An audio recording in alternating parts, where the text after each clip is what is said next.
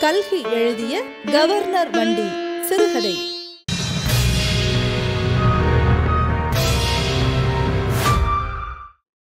மறுநாள் தீபாவளி.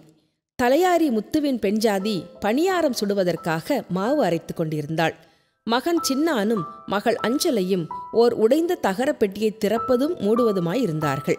அந்த பெட்டியில் தீபாவளிக்காக வாங்கி வந்த புது வேட்டியும் பாவாடையும் இரண்டு மூன்று பட்டாசு கட்டுகளும் இருந்தன. பட்டாசு கட்டை இப்போதே பிரித்துவிட வேண்டுமென்று சின்னான் சொன்னான். அஞ்சலை கூடாது நாளை காலையில்தான் பிரிக்க வேண்டும் என்றாள். தலையாரி முத்து அவசரமாய் உள்ளே வந்தான். நான் போய் தொலைய வேண்டும். இந்த பாலும் சர்க்கார் உத்தியோகம் இப்படித்தான். நாள் கிழமை கூட கிடையாது என்றான். ஐயோ இதென்ன அநியாயம்? எங்கே போக வேண்டும்? அதெல்லாம் முடியாது. ராத்திரி எப்படியும் வந்துவிட வேண்டும் என்றாள் அவன் மனைவி மதுரம். நான் என்ன செய்யட்டும்? யாரோ கவர்னர் துறை வருகிறானாம். ரயில் பாதை முழுவதும் காவல் காக்க வேணுமாம். கணக்கு பிள்ளை மணியக்காரர் தலையாறு எல்லோரும் போகிறார்கள். இந்த தாலுக்கா முழுவதும் அப்படி. ரெவன்யூ இன்ஸ்பெக்டர் ஐயா கூட தடியை பிடித்துக்கொண்டு காவல் காப்பாராம் என்று சொல்லி முத்து சிரித்தான்.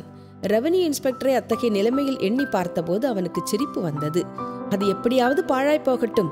பண்டிகை அன்றுதானா இந்த இழவு வந்து தொலைய வேண்டும்? எப்படியும் ராத்திரி திரும்பி வந்து விடக்கூடாதா? ஐயோ வெள்ளை பணியாரம் செய்ய மாவு அரைத்திருக்கிறேனே. நீ இல்லாமற் போனால் சந்தோஷமாகவே இராது என்றாள் மதுரம். ராத்திரி வரப்போகிறாராம் துரை. அதற்கு சாயங்காலம் முதல் காவல் காக்க வேண்டுமாம். வண்டி போன உடனே புறப்பட்டு ஓடி வந்து விடுகிறேன் என்றான் முத்து. இதற்குள் அஞ்சலை ஓடி வந்து தகப்பன் கையை பிடித்து கொண்டு அப்பா அப்பா எனக்கு பூ மத்தாப்பு வாங்கி கொண்டு வா என்றாள். சின்னான் ஓடி வந்து அரை வேட்டியை பிடித்து கொண்டு அப்பா எனக்கு துப்பாக்கி வாங்கி வர வேண்டும் என்ன? வாங்கி வருகிறாயா? சொல்லு. இல்லாவிட்டால் உன்னை விடமாட்டேன் என்றான். பணியாரமெல்லாம் ஆறிப்போகும் சுட சுட தின்றால்தானே தேங்காயப்பம் நல்லா இருக்கும் உனக்கு பிடிக்குமே. நீ போகாதிருந்து விட்டால் என்ன? உடம்பு காயலாவென்று சொல்லிவிடேன் என்றாள் மதுரம்.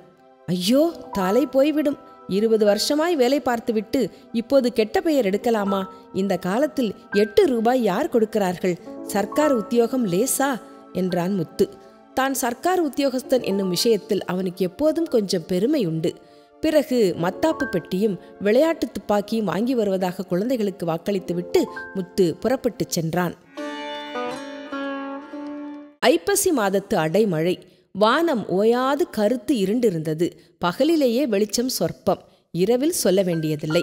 ஆனால் அந்த அந்தகாரத்தினிடையே ஒவ்வொரு சமயம் மின்னல் பளிச்சென்று வீசி ஒரு மணி நேரம் பிரகாசம் உண்டு பண்ணி வந்தது. சில சமயம் சோவென்று மழை கொட்டும். சில சமயம் தூறல் போடும். அபூர்வமாக ஒரு சமயம் தூறல் நிற்கும். ஆனால் ஊதல் காற்று மட்டும் இடைவிடாமல் அடித்து கொண்டிருந்தது. அதோ வரிசையாக வெகு தூரத்துக்கு மின்மினி போல் தெரிகின்றதே. அதெல்லாம் என்ன? கம்பங்கள் நாட்டிய விளக்குகளா? இல்லை. ரயில் பாதையில் இருபுறமும் சுமார் ஐம்பது கஜத்துக்கு ஒருவர் வீதம் மனிதர்கள் நிற்கிறார்கள். அவர்கள் கையில் பிடித்துக் கொண்டிருக்கும் லாந்தர்கள் தான் அவை. அப்படி நின்று கொண்டிருப்பவர்களை நமது தலையாரி முத்துவும் ஒருவன். ஒரு கையில் லாந்தரும் மற்றொரு கையில் தடியும் பிடித்துக் கொண்டிருக்கிறான். வாடை காற்று வீசி அடிப்பதால் அவன் உடம்பு குளிரினால் விடவிடவென்று நடுங்குகிறது. பல்லு கிட்டுகிறது. மேலே மழைக்கு ஒரு கோணிப்பை. மழை கோணிப்பைக்குள் நுழைந்து முதுகுக்கு வந்து வெகுநேரம் ஆயிற்று உடுத்திய வேட்டியை பற்றி சொல்ல வேண்டியதில்லை. சர்க்கார் உத்தியோகத்துக்கு தலைமொழிக்கு விட்டு ஓடிப்போகலாமா என்று நினைத்தான் முத்து. மதுரம் சொன்ன புத்திமதியை அப்போதே கேட்காமற் போனோமே என்று வருந்தினான். இத்தனை நேரம் கஷ்டப்பட்டோம் இனி கொஞ்ச நேரம்தானே இருந்து தொலைப்போம் என்று தைரியமடைந்தான். இதனிடையில் அடிக்கடி தன் மனைவி சுட சுட பணியாரம் செய்து கொண்டிருப்பாள் என்பது ஞாபகம் வந்தது. போகட்டும் பெண் ஜாதியும் குழந்தைகளுமாவது தின்பார்கள் அல்லவா என்று எண்ணி ஆறுதல் அடைந்தான் சாயங்காலம் நாலு மணி ஆரம்பித்த காவல் இரவு ஏழு மணி எட்டு மணி ஒன்பது மணி ஆகியும் முடியவில்லை.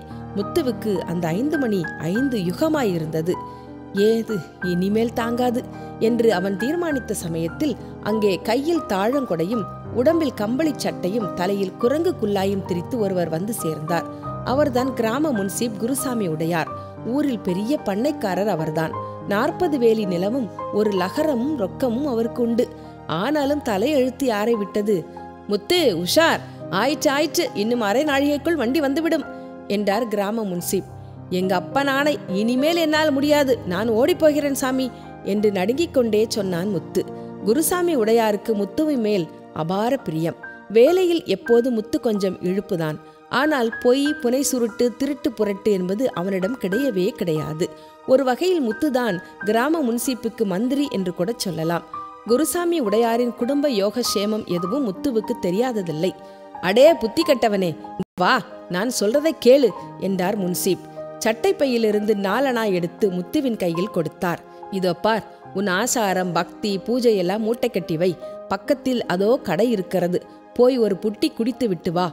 குளிரெல்லாம் பறந்து போய்விடும். அதுவரையில் நான் இங்கே பார்த்து கொள்கிறேன். ஓடி வந்து விடு என்றார். முத்துவுக்கு மதுபானம் கெடுதல் என்ற நம்பிக்கை உண்டு. அவன் தெய்வ பக்தி உள்ளவன். கள்ளு குடித்தால் சுவாமிக்கு கோபம் உண்டாகும் என்ற எண்ணம் அவனுக்கு எப்படியோ ஏற்பட்டிருந்தது. அதிலும் அவன் மனைவி இது விஷயத்தில் மிகவும் கண்டிப்பாயிருந்தாள். ஒரு நாள் அவன் கொஞ்சம் புத்தி பிசகி சகவாச தோஷத்தினால் குடித்துவிட்டு வீட்டுக்கு வந்தபோது மதுரம் படுத்திய பாடு நன்றாய் அவன் உள்ளத்தில் பதிந்திருந்தது. கிணற்றில் விழுந்து உயிரை விடுகிறேன் என்று அவள் ஓடியதும் அவளை தடுத்து நிறுத்த தான் பட்ட கஷ்டமும் அவனுக்கு ஞாபகத்துக்கு வந்தன. அது முதல் அவன் தப்பி தவறி கூட கள்ளுச்சாராய கடைப்பக்கம் போனதில்லை. ஆனால் இப்போதோ கிராம முன்சீப்பின் போதனையும் குளிரின் கொடுமையும் சேர்ந்து அவன் உறுதியை மாற்றிவிட்டன. அவளுக்கு தெரிய போவதில்லை என்று மனதை திடப்படுத்திக் கொண்டான். பணத்தை வாங்கி கொண்டு போய் கால் மணி நேரத்தில் திரும்பி வந்தான். தாகசாந்தி செய்து கொண்டாயா? அதுதான் சரி முத்து குளிரெல்லாம் பறந்து போயிற்றல்லவா? இன்னும் கொஞ்சம் பொறு ஊருக்கு புறப்பட்டு விடலாம் என்று சொல்லிவிட்டு குருசாமி உடையார் தமது இடத்துக்கு போய்ச் சேர்ந்தார். முத்துவின் குளிர் பறந்து போயிற்று.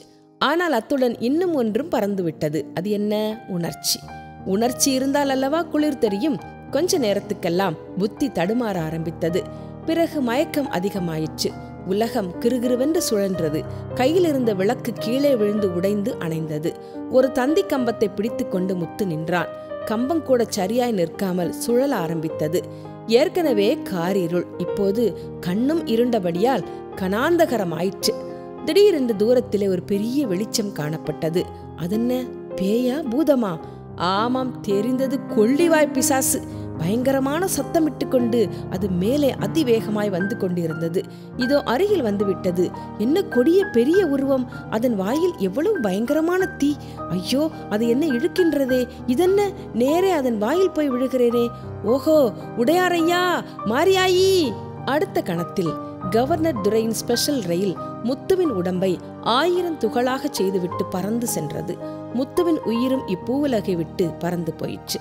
மேன்மை தங்கிய கவர்னர் துரையும் அவருடைய பரிவாரங்களும் சௌக்கியமாக துவரை நகரம் சேர்ந்தார்கள் என்று மறுநாள் பத்திரிகைகளில் செய்தி வெளியாயிற்று.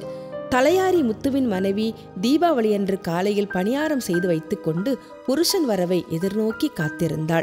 சின்னானும் அஞ்சலையும் நிமிஷத்துக்கு ஒரு முறை வாசல்புறம் போய் மத்தாப்பூ துப்பாக்கியுடன் அப்பா வருகிறாரா? என்று பார்த்து கொண்டிருந்தார்கள். சமீபத்தில் நான் மாயவரம் போனபோது கிராம முன்சீப் குருசாமி உடையாரிடமிருந்து மேற்சொன்ன விவரங்களை கேட்டறிந்தேன். உடையார் இப்போது மதுவிலக்கு இயக்கத்தில் பிசாசு பிடித்தவர் போல் வேலை செய்து வருகிறார். தற்போது அவரிடம் யாராவது சென்று கள்ளு சாராயத்துக்கு சாதகமாக பேசிவிட்டால் அவர்கள் தப்பி பிழைத்து வருவது கஷ்டம்தான். கல்கி எழுதிய கவர்னர் வண்டி சிறுகதை கேட்டீர்கள். வழங்கியவர் ஆர் ஜே விஜய் பூரன் சிங். இதமான கதைகள் கேட்க தாடகை மைண்டர்கள் யூடியூப் சேனலுடன் இணைந்திருங்கள்.